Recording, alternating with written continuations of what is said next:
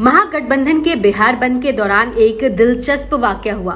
दरभंगा से पटना आ रहे बिहार सरकार के जल संसाधन मंत्री संजय झा मुजफ्फरपुर, हाजीपुर के बीच भगवानपुर फोर लेन पर जाम में फंस गए। मंत्री जी के साथ उनका पूरा काफिला जाम में फंस गया। बता दें कि महागठबंधन समर्थकों ने सुबह सुबह ही हाईवे पर प्रदर्शन आगजनी करते हुए सड़क को जाम कर दिया था। जिसके बाद मंत्री जी को पटना जाना था, सो उनके साथ मौजूद उनके सुरक्षा कर्मी जाम हटाने में लग गए, लेकिन बात बनते नज़र नहीं आ रही थी। फिर क्या मंत्री जी को खुद सामने आना पड़ा? बंद समर्थकों से मंत्री जी ने गुजारिश की, जिसका असर भी हुआ। बताते चले कि महागठबंधन के कार्यकर्ताओं ने मंत्री जी का निवेदन सुनने के बाद उन्हें आगे जाने की इजाज़त दे दी। उसके बाद उनके सुरक्षा कर्मी आगे बढ़े और आगे गाड़ियों को किनारे करते हुए मंत्री जी को जाम से छुटकारा दिलवाया।